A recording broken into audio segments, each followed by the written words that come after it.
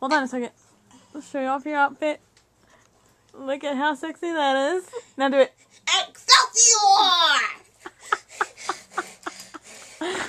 I need my inhaler. You're, I have an inhaler you can carry. Is that Banaka? what is that? Oh, that's that sour stuff. I have an inhaler. Really? Yeah. I need to use your inhaler. You can't use it, but you can carry it. I can? Mhm. Really? If you promise not to lose it. No, I don't want to do that then. Oh, no. she has no confidence in herself. Oh. Oh, you match your bed! Huh? You match your bed! Oh my gosh! Look at that. It gets like brown. Brown. yeah, yeah. I think that's amazing. I matched my bed.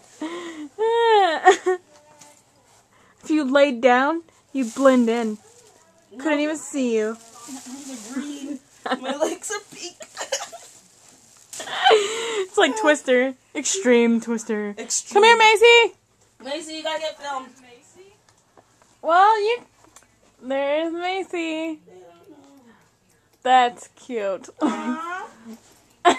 Are you running with your backpack on? Yeah. Are you serious? Oh, wow. This is awesome. Your turn, Andy. I don't have my trumpet, lady. Well, get your trumpet. Are you taking your trumpet? I'm a band geek. Ah, It goes everywhere with me. okay. Come here. Come here. Andy, get your trumpet. and Come here.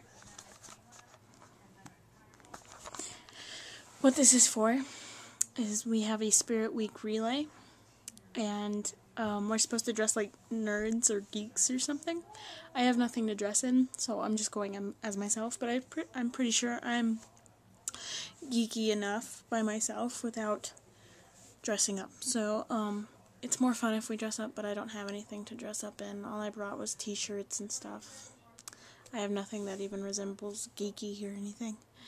So I don't get to participate in the geekiness. Um,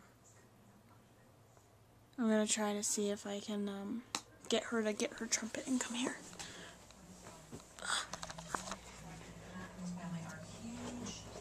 Okay, you're probably gonna see her without the trumpet. Where'd she go? You guys know that nobody else is doing this, right? What? None of the other boards. Oh, I know. I saw people, they were at the track and they were all like, got their like running shoes on. And they're like, let's go! They were like conditioning. I was like, I'm gonna be over there. That's hot.